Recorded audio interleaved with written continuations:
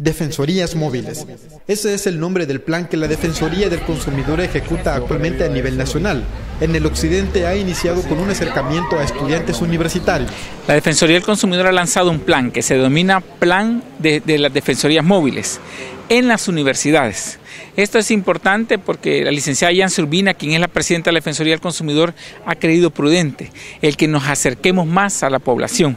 Lo hemos venido haciendo visitando los diferentes municipios del país.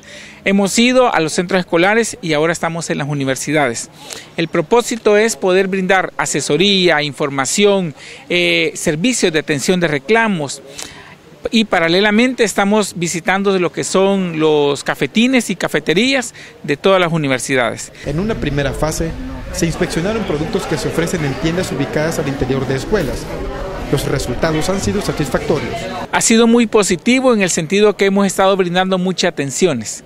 En el canopy, como ustedes pueden ver, en este momento, aunque a pesar que es una hora de no, de no mucha afluencia, pero nos está permitiendo poder brindar servicios de asesoría, de capturar o recibir reclamos o denuncias, porque la población, en este caso estudiantil, maestros y alumnos, al ver el canopy, al ver a la defensoría, pues se están abocando, se están acercando. En aquellos casos en los que un negocio ha cometido infracción ofreciendo productos vencidos, la defensoría ha actuado de acuerdo al marco de la ley es eh, accesoria, le llamamos nosotros una sanción accesoria, es el retiro de los alimentos o de los productos, llámese gaseosas, jugos, eh, golosinas, los retiramos y los destruimos. Es la primera es una sanción accesoria. Posteriormente a esto, el, el, expediente es trasladado al tribunal sancionador, quien es el ente rector para emitir resoluciones en cuanto a los hallazgos encontrados en el campo por la Defensoría del Consumidor.